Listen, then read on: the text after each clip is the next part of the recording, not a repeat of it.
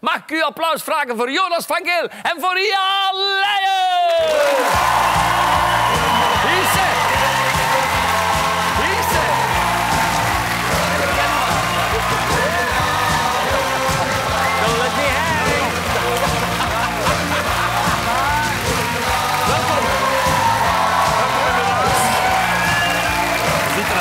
Hier is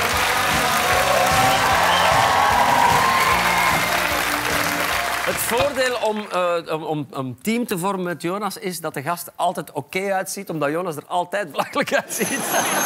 Dus dat is... Ik ben zo precies een van de autostralen. Zo.